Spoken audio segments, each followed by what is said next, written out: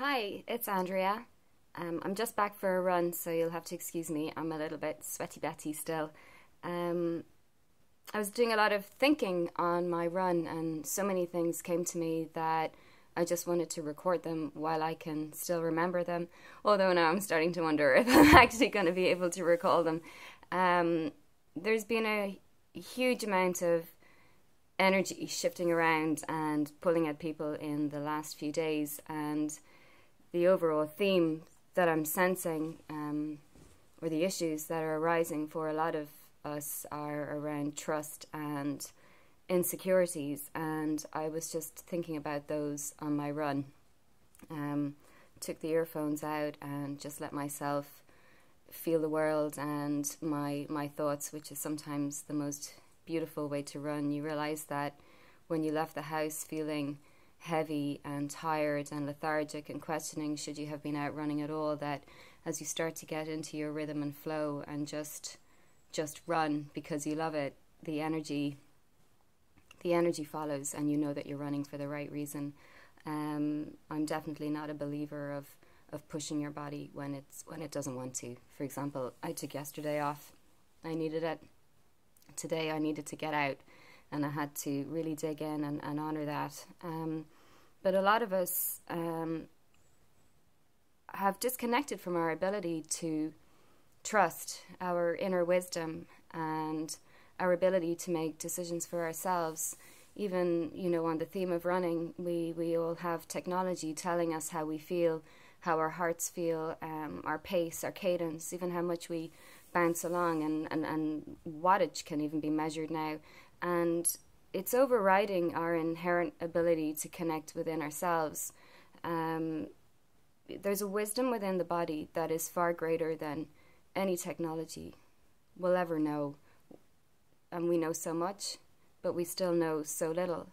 So it's very important that we continue to go back to ourselves, our inner selves, how are we feeling, and use the technology as, as signposts, indicators, um, little bits of guidelines, but above all, trust trust in yourself because you'll you'll be starting to fight with yourself between what the technology is telling you and what you're actually feeling and sensing. Um, and I think this applies to all of our lives. We're we're waiting for people to give us permission. We're waiting for technology to give us permission.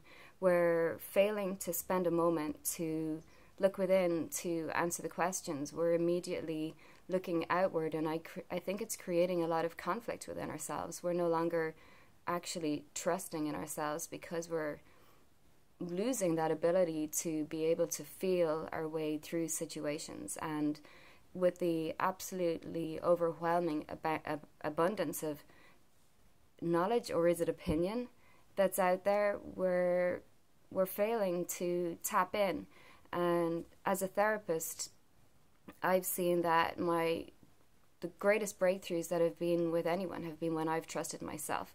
I will always study and i will study a, a phenomenal amount to learn and educate myself and it gives me a way to connect. But above above this i i trust my intuition on on most things and i feel that medicine and science is in it, it can break things down but we're constantly learning new things and i think we're only touching on the surface of the wisdom of our bodies i, I was always also on my run thinking about illness and why people stay ill and, and I, I just wanted to say one really really important thing and, and that is we're born for the most part if we're fortunate which most of us are with health.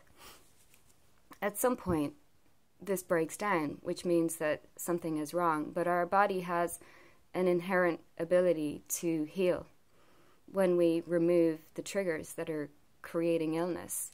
I don't believe for most conditions that they are permanent.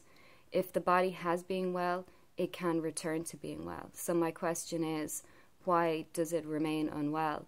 Our bodies completely repair themselves through the nourishment that we give ourselves. Food is, is the ingredients for what makes the substance of our bodies. So how it does that is information from our DNA, which we're born with, and the environment will interact to create replication of protein molecules, which will then direct, command, and form the structure of of our bodies. Now, I'm simplifying it greatly. if there's any geneticists out there, I apologize. But my point is, if we're continue continuing to be ill, then there's something wrong I, in the message.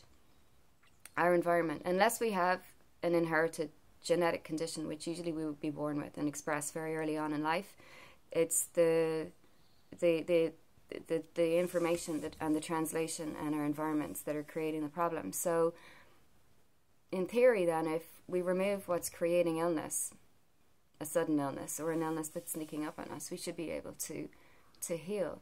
So, a big thing is the power of a diagnosis. If we're told that we're ill, we believe it, and the body continues to, as it's commanded, recreate this illness. Um, our environment, there's triggers, bacteria, viruses, um, a lack of nourishment, um, toxins in our foods. Um, for example, and I'm not going to go through the whole, whole list, um, but these are interacting with the genetics, it's called epigenetics, to distort the information about how the body replicates again. So obviously, it's going to replicate illness. So we need to be aware that when we're ill, we can return to health. It may require a bit of detective work and making changes and choices in your life, but i I fully believe that we can restore health. But the biggest one is our minds. We have to believe that we can be well again, despite what we're told, and we have to continually work on that. Um, and command and instruct and work with our bodies while also making the changes to our lifestyles, our diets, um, and everything that is around us as much as we can. So, use your intuition on this. Most of us, and I see this in my clients when they start to trust themselves, have um, a deep knowing within of, of what may be causing the problem. So, you know, go for it, work with someone, help yourself on this. Um, I feel like I'm rambling on now. My main point really was about the power of our trust, and that this is something that we must start to work on again. Um, believing ourselves, the choices that we make for ourselves, the directions that feel right for us. Um, trusting other people requires us to trust. Um, the only way someone can hurt you is through our poor decisions. Um, we are fully capable of being strong in life, of making the right choices for ourselves in life, knowing our path. Um, it's time to look back in the mirror at yourself and be accountable to yourself.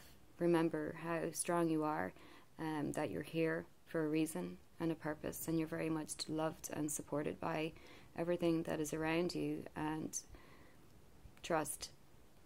The more you trust in yourself, the less there will be insecurity about yourself and the decisions that you make. So practice trust this week. Explore everything around you and trust.